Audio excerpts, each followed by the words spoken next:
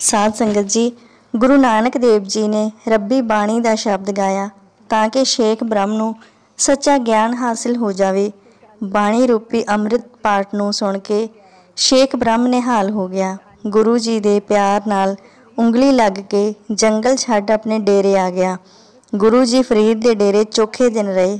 ਸਤ ਕਰਤਾਰ ਦਾ ਜਾਪ ਜਪਾਉਂਦੇ, ਜੀਆਂ ਨੂੰ ਤਾਰਦੇ ਤੇ ਜੀਵਨ ਦਾ ਸਿੱਧਾ ਰਾਹ ਦੱਸਦੇ ਰਹੇ।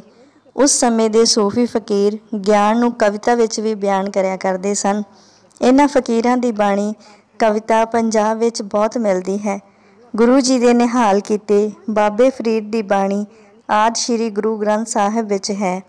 ਸ਼ਲੋਕ ਫਰੀਦ ਠੇਠ ਪੰਜਾਬੀ ਵਿੱਚ ਪ੍ਰਸਿੱਧ ਬਾਣੀ ਹੈ।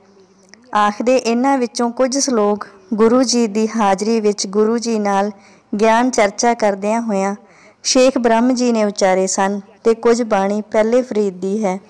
ਗੁਰੂ ਜੀ ਜਿੰਨੇ ਦਿਨ ਸ਼ੇਖ ਬ੍ਰਹਮ ਕੋਲ ਰਹੇ, ਉਹਨੇ ਦਿਨ ਹੀ ਗਿਆਨ ਚਰਚਾ ਹੁੰਦੀ ਰਹੀ। ਕੁਝ ਕੁ ਸਵਾਲ ਜਵਾਬ ਇਸ ਤਰ੍ਹਾਂ ਹਨ।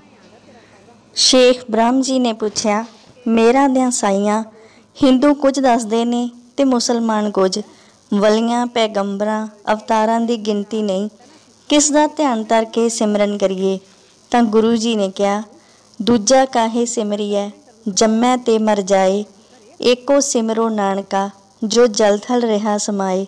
ਭਾਵ हे ਫਰੀਦ, ਉਸ ਦੂਸਰੇ ਨੂੰ ਕਿਉਂ ਸਿਮਰੀਏ, ਜੋ ਜਨਮ ਮਰਨ ਵਿੱਚ ਆਉਂਦਾ ਹੈ? ਭਾਵ, ਮਨੁੱਖ, ਮਿੱਟੀ, ਦੇਵੀ ਦੇਵਤੇ, ਸੱਪ ਅਗਨਾਤ ਮਿੱਠੀਆਂ ਸ਼ਕਤੀਆਂ ਹਨ।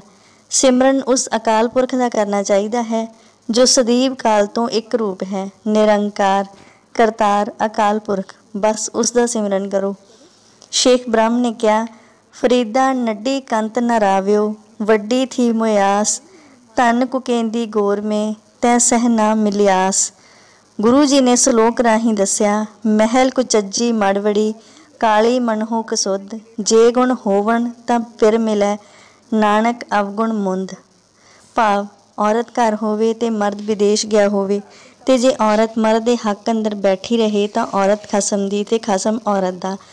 ਅਤੇ ਪੀਰ ਜੀ, ਜੇਕਰ ਔਰਤ ਹੋਵੇ ਔਗਣਹਾਰੀ ਤੇ ਖਸਮ ਨਾਲ ਸਿਦਕ ਨਾ ਹੋਵੇ, ਉਹ ਔਰਤ ਔਰਾਂ ਦੀ ਹੋਈ ਤੇ ਜੇਕਰ ਸਬਰ ਕਰਕੇ ਬਹਿ ਰਹੇ ਤਾਂ ਸਿਦਕ ਮੁਰਾਦ ਪਾਵੇ। ਇਸ ਤਰ੍ਹਾਂ ਕਈ ਦਿਨ ਗਿਆਨ ਚਰਚਾ ਹੁੰਦੀ ਰਹੀ। ਇਸ ਤੋਂ ਪਿੱਛੋਂ ਗੁਰੂ ਜੀ ਅੱਗੇ ਚਲੇ ਗਏ। ਆਖੋ, ਸਤਨਾਮ ਸ਼੍ਰੀ ਵਾਹਿਗੁਰੂ ਜੀ।